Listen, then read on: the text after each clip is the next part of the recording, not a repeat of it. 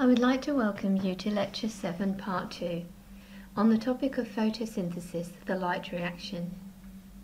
This lecture is part of the subject Plant Physiology, which is a component of the Bachelor of Agriculture and Technology, a degree that is offered at the North Melbourne Institute of TAFE.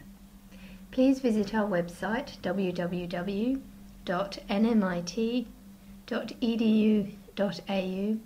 for information on this course and other courses that we offer. My name is Dr. Nicky Cooley. In this first part of the subject, we will be looking at different physiological aspects of plants by travelling through them in a sort of journey. I'd like you to ensure that you have watched all the lectures that you need to before you watch this lecture. That's lectures 1 to lecture 6 and lecture 7 part 1.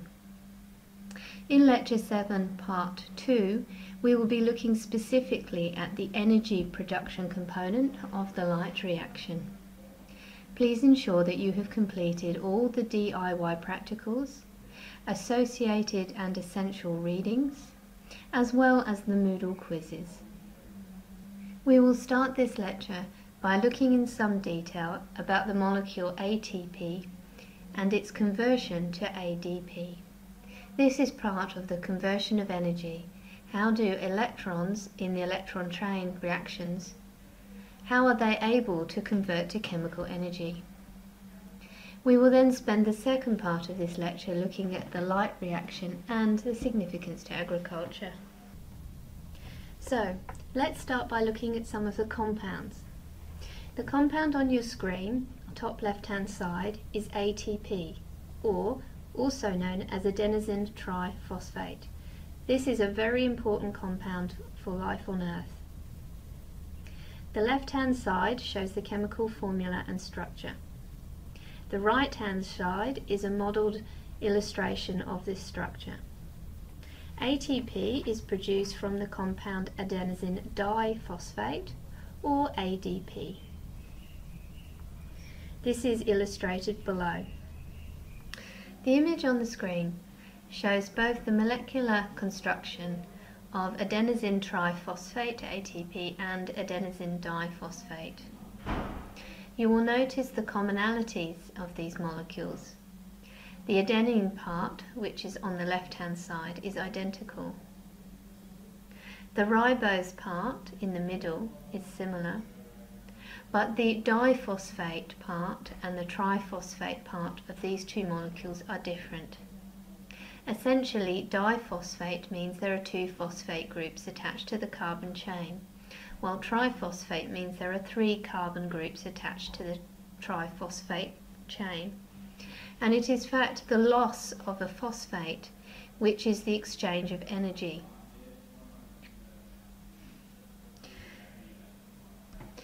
So let us look at this reaction in some detail. ADP is said to be in the oxidized form. If you add an inorganic phosphate to ADP, you produce ATP, and this is said to be in the reduced form. It is said to be in the reduced form just as the word describes, in that it is in a form that can be reduced while ADP is said to be in the oxidized form because it is in a state that can be oxidized.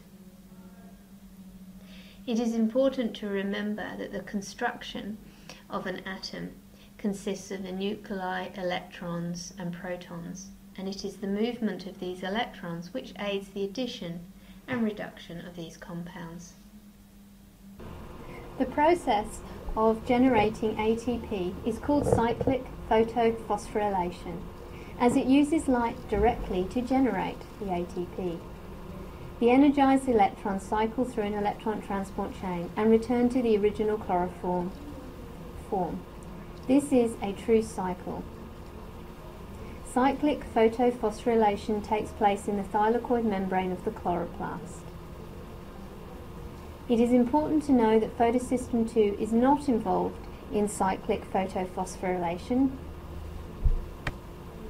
During photosynthesis in plants, there are two photosystems, photosystem 1 and photosystem 2.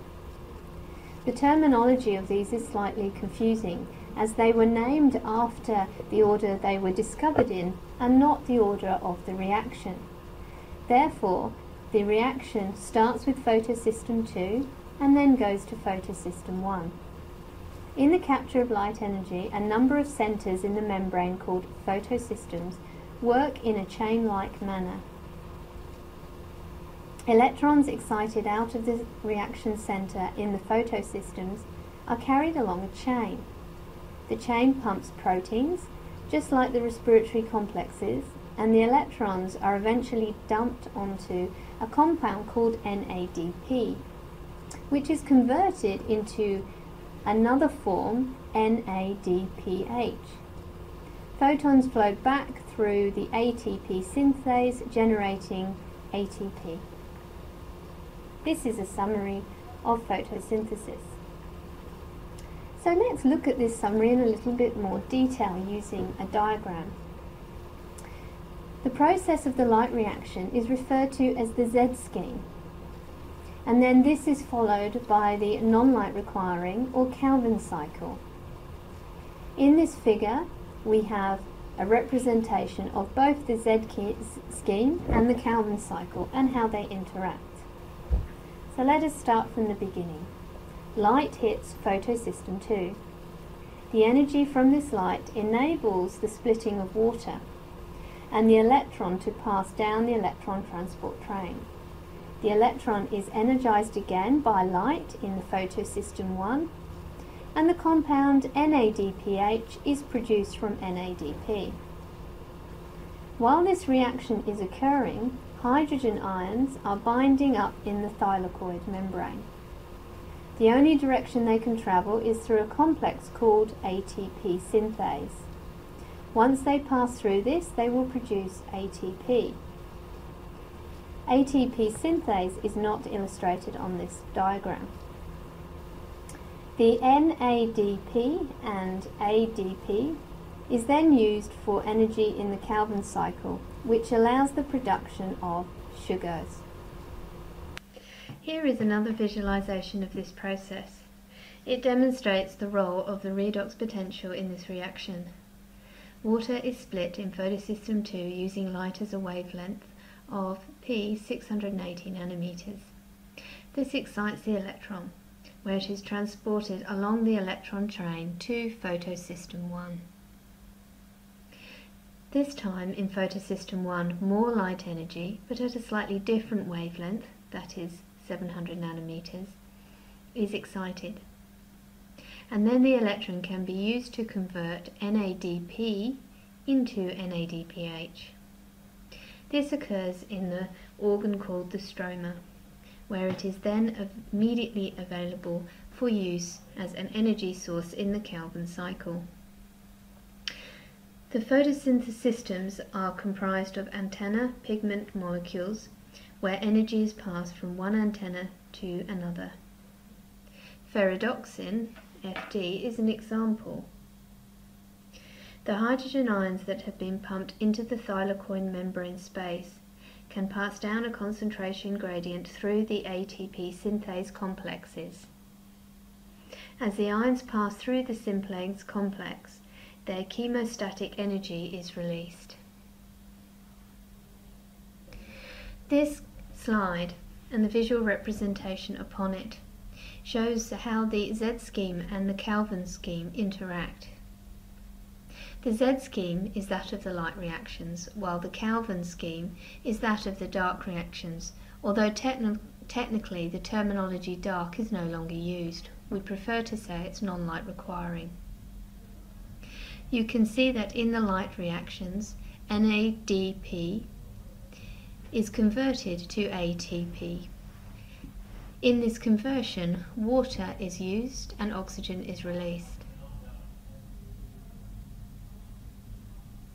In the dark reactions, NADP is broken down from NADPH, but as this breakdown occurs, carbohydrates are formed, releasing carbon dioxide. As you may have realized, light is an essential component of the light reactions of photosynthesis. and it has certain properties which are summarized in this diagram. You can see that the type of radiation, light, lies between the ultraviolet and the infrared spectrum, and that this spectrum is related to energy. Therefore, there is more energy at the 400 than there is at the 700 end of the spectrum. It is the interaction of light and the pigments in photosynthesis which enable these reactions to occur. Let us talk about one of these pigments, chlorophyll. This is probably the most important molecule in the light reaction. On the left hand side of the screen you will see the molecular formula for chlorophyll and as I'm sure you can see it is a very complicated compound. On the right hand side of the screen you can see what's called an action spectrum of chlorophyll A. Action spectrums are visualizations of where light is absorbed. You will see that chlorophyll A absorbs light mostly at 4 to 9 nanometers and then again at 659. Areas between 5 and 600 nanometers are hardly absorbed at all, and areas above 700 and 400 are also not absorbed. Chlorophyll absorbs molecules as individual photons. Each can cause a single photochemical reaction. If there is no direct photochemical reaction, chlorophyll may lose its excitation energy as heat and red fluorescence. So this is a waste basically. A fluorescence, in fluorescence, a high energy or short wavelength photon is absorbed, which promotes an electron. The electron then drops to the lowest vibrational substate of the excited state. So this is the technical chemical terms for what is going on. Once the electron has fallen, it releases heat and then it drops to its ground state, emitting a photon of lower energy or longer wavelength than was originally absorbed. So what does all this mean? Well, put simply, it means that chlorophyll A absorbs solar radiation in only small regions of the light spectrum. In the figure on the slide, you will see the solar output from the sun. You will see the amount of energy in red that hits the Earth's surface and then finally in green, you will see the amount of absorption by chlorophyll. Chlorophyll absorbs strongly in the blue and the red regions. Green light is not efficiently absorbed and thus reflected into our eyes, giving plants their characteristic green colour, although there is some debate about the colour.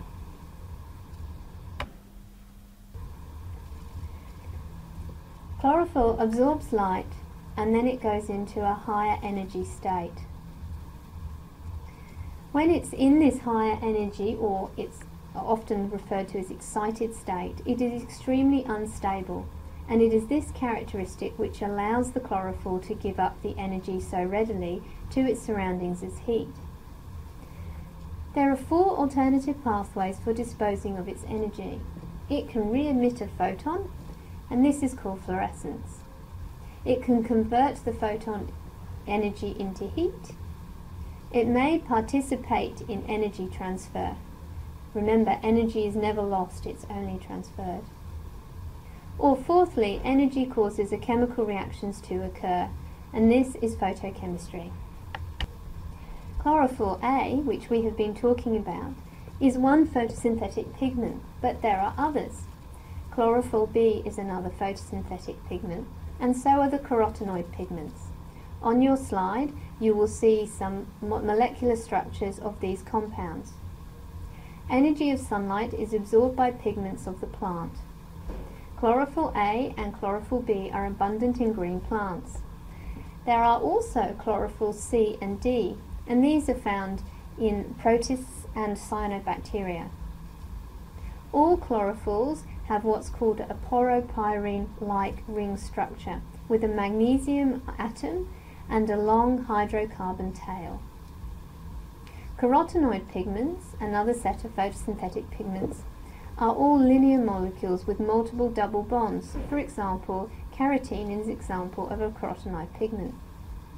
Carotenes transfer their light energy to chlorophyll, thus known as accessory pigments. Action spectrums are very useful to photobiologists. They show the magnitude of response of a biological system, and it can be any system, to light as a function of wavelength. In the image we have an action spectrum. This is showing the chromophore pigment responsible for light absorption. And it also shows where the light is being absorbed.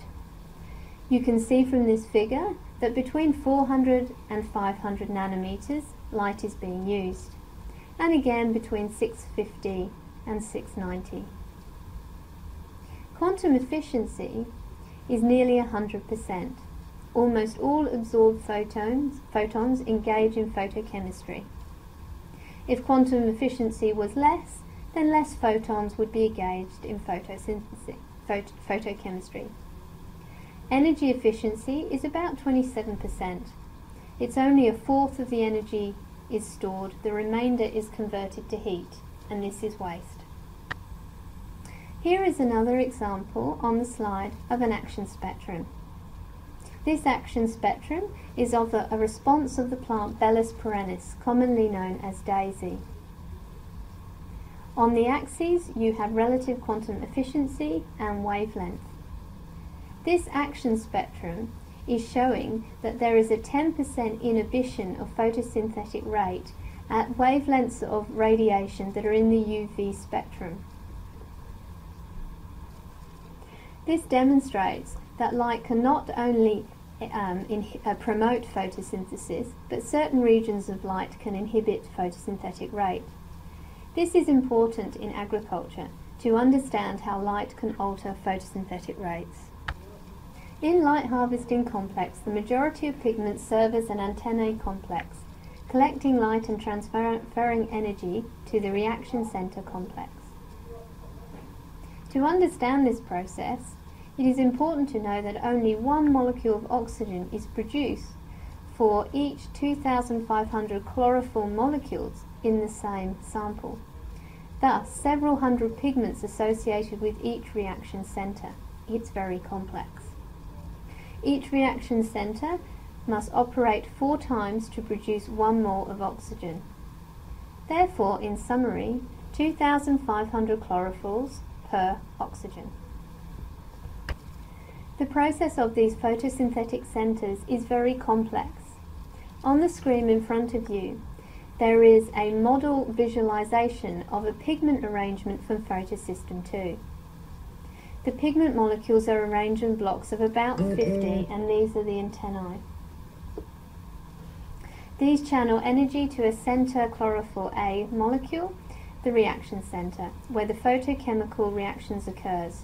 The excited chlorophyll A ejects an electron, becoming an extremely strong oxidizing agent capable of pulling electrons out of the water.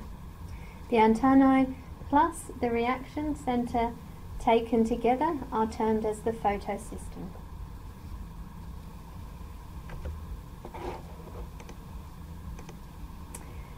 This is another model of one antennae structure.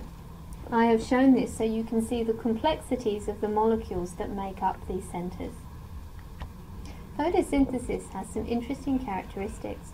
When red and far red light are given together, the rate of photosynthesis is greater than the sum of the individual rates, and this is called the enhancement effect. It is explained by the discovery that there are two photosystem complexes, photosystem 1 and photosystem 2, and that they operate together to carry out these reactions. As we said previously, photosystem 1 prefers the absorption of far red, while photosystem 2 prefers the absorption of red light at 680 nanometers. Also differences is that photosystem 2 produces a strong reductant and a weak oxidant. Photosystem 2 produces a strong oxidant and a weak reductant. So how are photosystem 1 and photosystem 2 organised? Well, predominantly they're located in the grana laminae. Photosystem 1 and ATP synthase are found almost exclusively in the stroma laminae and at the edges of the grana laminae. the cytochrome BF complex is very distributed. Thus, the two photochemical events that occur are spatially separated. In the figure on your slide, you can see a visual representation of this arrangement. Spatial separation implies that one or more electron carriers must diffuse from the grana to the stroma to deliver electrons to photosystem 1.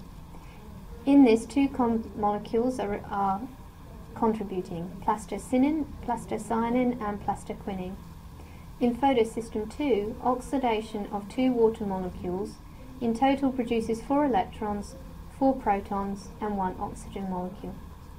The protons must also diffuse to the stroma where ATP is synthesized. Function to deliver energy efficiency to the electron centers is quite important. So let's see what these factors are. Size varies considerably. You have about 20 to 30 pigments per reaction center in photosynthetic bacteria, 200 to 300 per center in higher plants several thousands in algae and some other bacteria. Mechanism of excitation energy transfer from pigments to the reaction center is called the fluorescence resonance energy transfer, or FRET. Important differences between energy transfer among pigments and electron transfer that occurs in the electron center. Pheophytin is a chlorophyll with two hydrogens and no magnesium, and it is an early acceptor of electrons in photosystem 2. Electrons from photosystem 2 are passed to a complex of two plastoquinones, PQA and PQB, which are bound to the reaction center. In this figure you can see a visual represent representation of the functional role of PQ and PQH2. PQB becomes reduced to PQB2 and takes two protons from the stroma, yielding a fully reduced plastohydroquinone. It dissociates from the reaction center and transfers its electrons to the cytochrome BF complex. Take some time to have a look at the image on this screen as it shows the excited state of pigments the excited state of pigments increase with the distance that they occur from the reaction center. Put simply, if a pigment is closer to the reaction center, it is lower in energy. This ensures that the excitation transfer in, ener uh, in energetically terms is favorable. Some energy loses heat. This is about 95 to 99% of all energy. This is both a problem for the plant and possibly for agriculture, as it does show that not only does the plant have to deal with extra heat, but it also is not as efficient as it might be. So let's bring all this together. Almost all the processes that make up the light reactions are carried out by four major protein complexes. There is photosystem 2, cytochrome BF, photosystem 1, and ATP synthase. In summary, photosystem 2 oxidizes water to oxygen in the thylakoid lumen and releases protons into the lumen. The cytochrome BF oxidizes plastohydroquinone and delivers electrons to photosystem 1.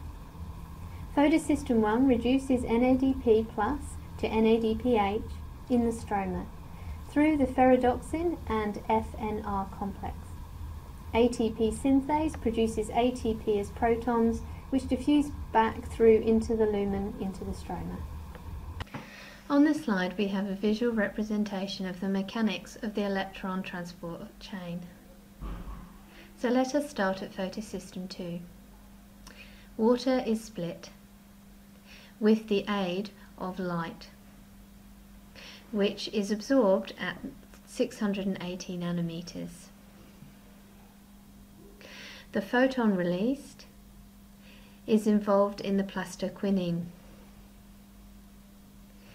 This photon is then used in the cytochrome B6F complex. It is recycled back into the plastoquinone complex where it can be used again to plastocyanin. The photons from uh, plastocyanin can be used for ferredoxin and FNR to produce NADP from NADPH. Again, light is used in this process at 700 nanometers in photosystem 1. In the lumen, a build-up of hydrogen ions from the splitting of water during um, oxidation in photosystem 2 builds up and this is then used and pumped through the ATPase protein, which is the specialized protein embedded in the membrane that can convert NADP to ATP. You will note most importantly that the electrochemical potential gradient is high in the lumen and low in the stroma. This is very important in the process of this hydrogen pump. So two molecules of water are oxidized in the photosystem 2 complex. This releases oxygen, four molecules of hydrogen, and four electrons. Water is a very stable compound, thus it is difficult to oxidize.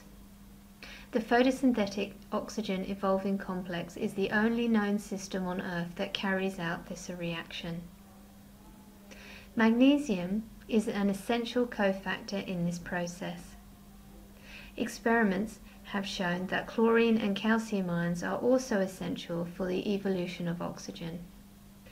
In this large complex, PQH2 is oxidized and one of the electrons is passed towards photosystem 2, while the other cycles to increase the number of protons pumped across the membrane.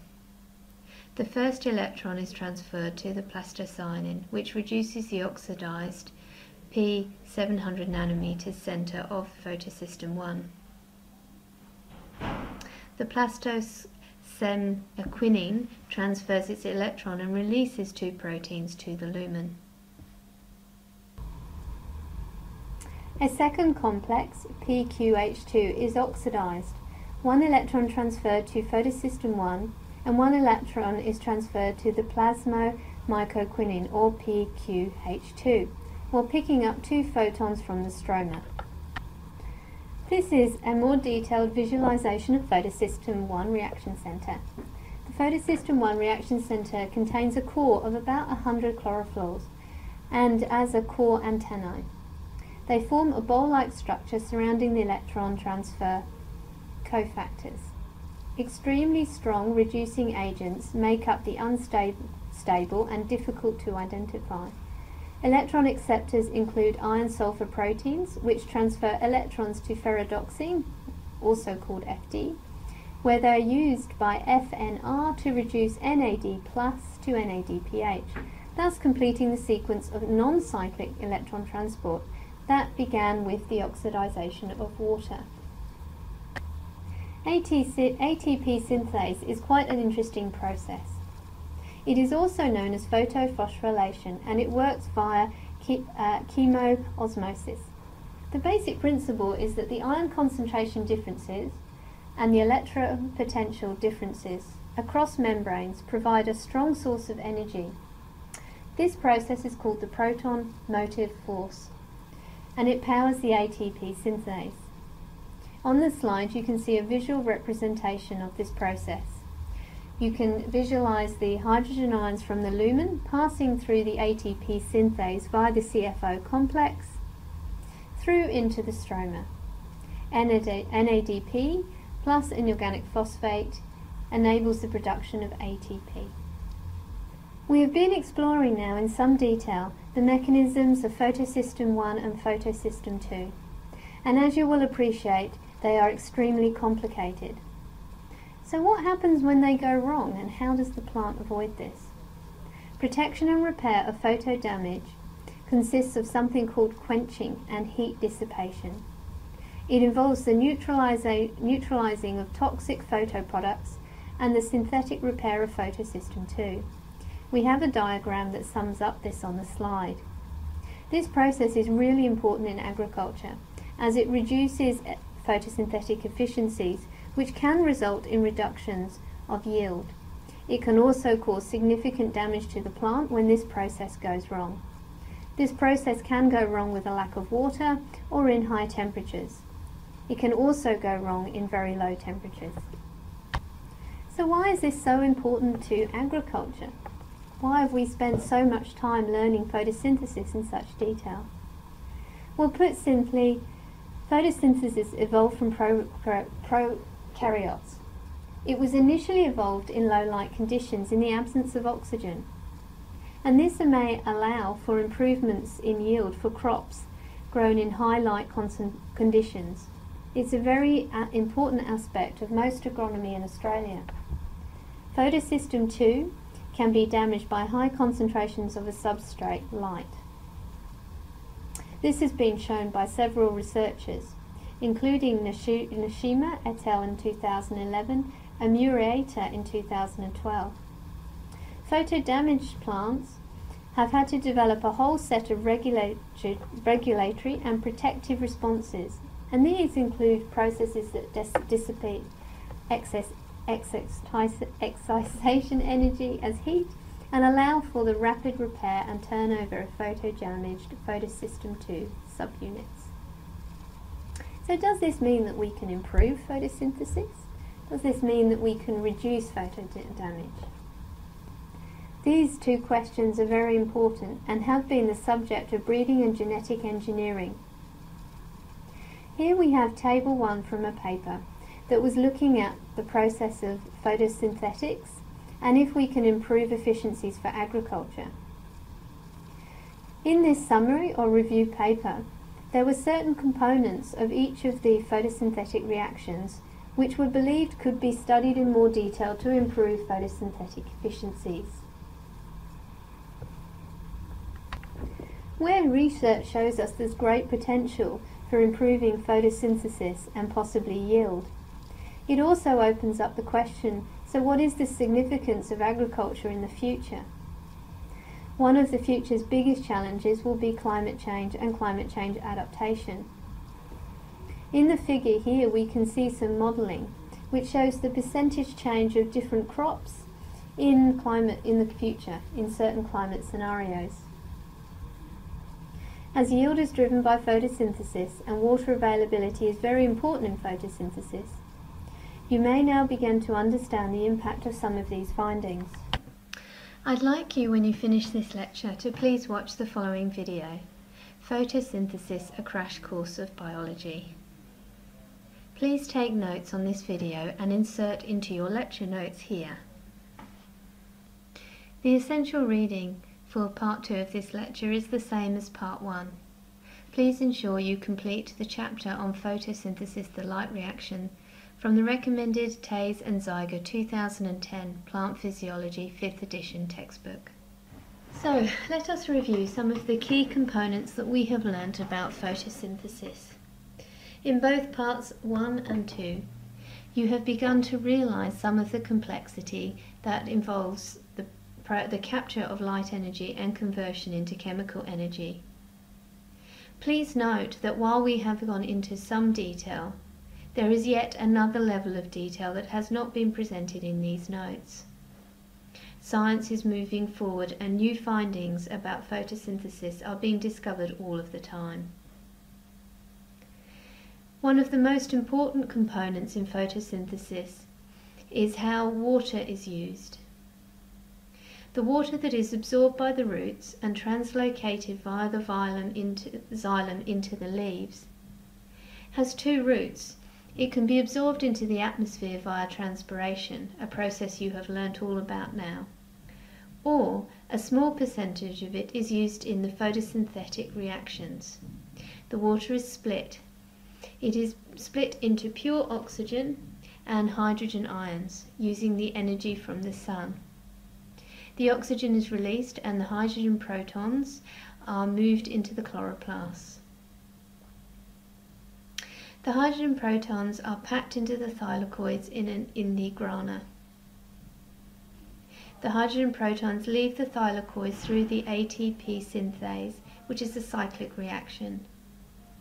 ATP synthase turns ADP into ATP with the addition of an inorganic phosphate.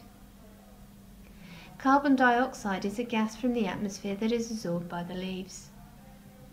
ATP is used to combine carbon dioxide from the atmosphere and hydrogen into the compound glucose. Functions of glucose are that it is used to store energy or it is used to combine to make other sugars or compounds.